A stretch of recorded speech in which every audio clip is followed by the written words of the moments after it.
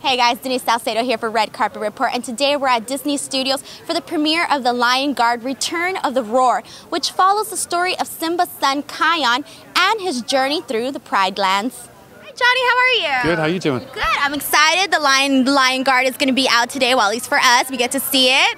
Yeah, me too. cool. Yeah, I get to see it as well. I Yeah. haven't seen it yet, so So you do the voice of Mzingo, right?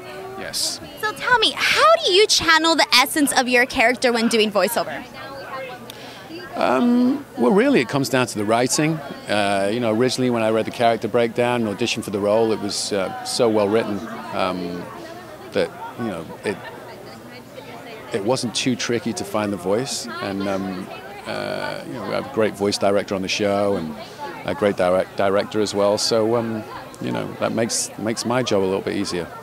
So how would you say you're similar or different to your character? Oh my goodness! I, would like to think I'm not similar to my character. Um, character's uh, one of the villains, um, a bit of a busybody, um, always calling groups of committees to discuss decisions because we should all make those decisions in a very, um, uh, a very proper way. He's very English, very proper, almost like um, you know, he's a bureaucrat, you know, the ultimate villain.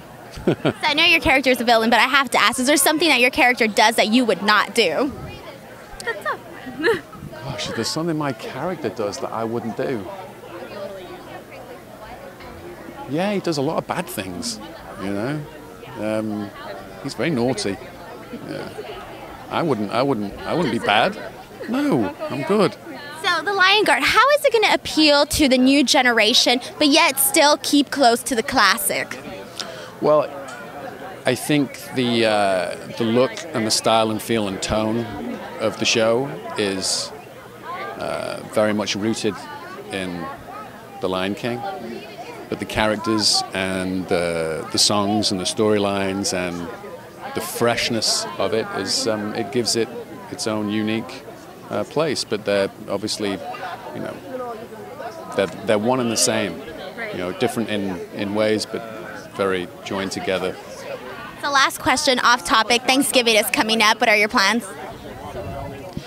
plans are to eat lots of food um, with lots of lovely people um, and uh,